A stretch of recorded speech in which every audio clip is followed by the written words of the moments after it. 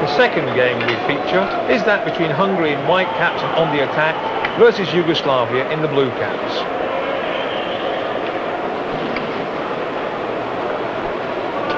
This match ended in a 5-all draw and one of the stars of the tournament, number four, Thomas Farago, scoring there from no less than 15 metres and proving to be the real star of this Olympic water polo tournament.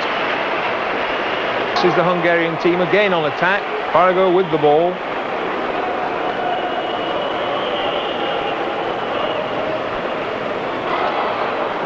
Trying to get the goalkeeper out of position